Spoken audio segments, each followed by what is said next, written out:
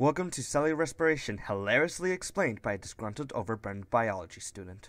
Before we begin, let's clarify a few things. ATP is considered the currency of biological energy.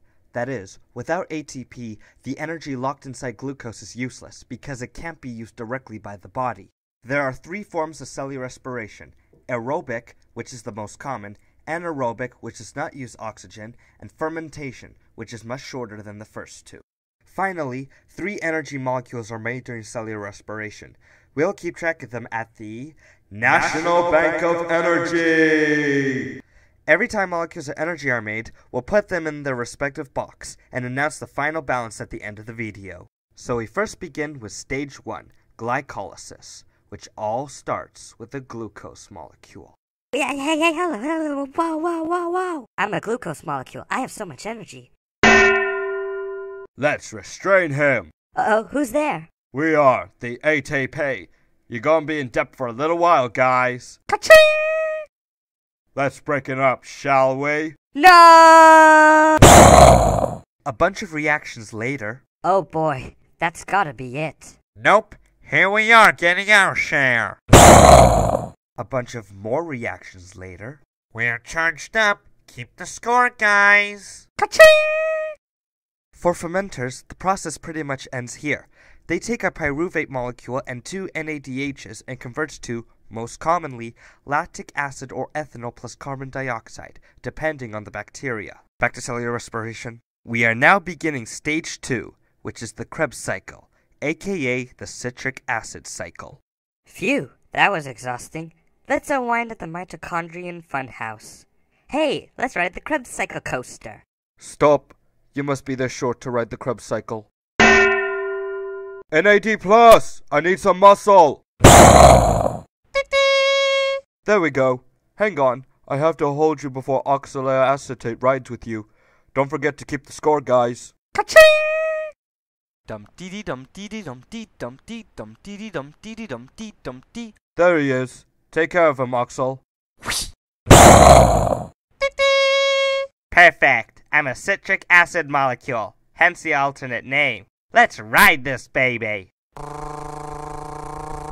Ah, a first scare. An NAD plus molecule. Freak out. Wow, I'm a five carbon molecule, but that's the first scare. Here comes the next. Ah. Okay, bottom line, since you don't have all day and neither do I. These reactions go on for some time. In summary, three NADH molecules are made from three reactions, one ATP molecule from one reaction, and one FADH2 from the four carbon molecule. Right complete, let's add them up. Don't forget to double. Ka-ching! We are now at stage 3, the electron transport system, which, yes, is similar to the electron transport chain in chloroplasts.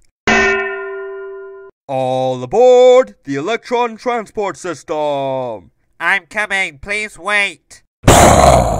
First stop, Complex 3.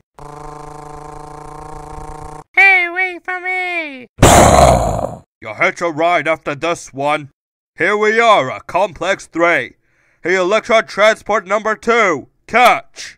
Come on, hydrogen cations! Move it! Next stop, cytochrome C. Hey, cytochrome C, go along! Receive the electrons. Final stop, Complex 4. We're now at Complex 4. Hey, oxygen, catch!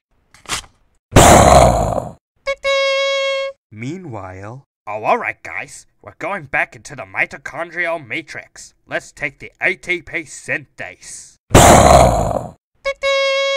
For anaerobic respirators, the ending is a little different. Depending on the reactants and bacteria, any compound other than oxygen is the final electron acceptor and creates multiple compounds ranging from sulfur to methane. Side note here, for every 12 energy molecules, 10 NADHs and 2 FADH2s, 24 electrons are released, which in turn make 12 water molecules.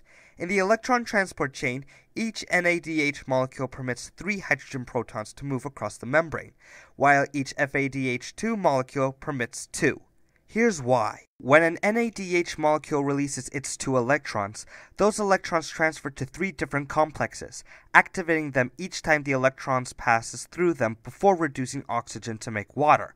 The FADH2 molecule releases its two electrons further down the electron transport chain, which is why only two hydrogen cations move. Back to cellular respiration. So in the end, 10 NADHs and 2 FADH2s moves a whopping 34 hydrogen protons.